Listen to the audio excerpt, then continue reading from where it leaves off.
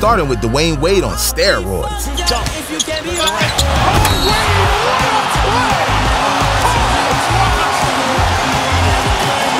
And if that don't get you out your seat, this will. One.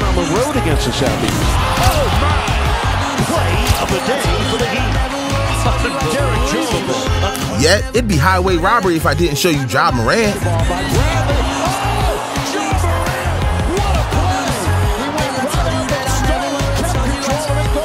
Yo, is it just me, or is Ja Morant secretly an alien? Subscribe if he's from another planet.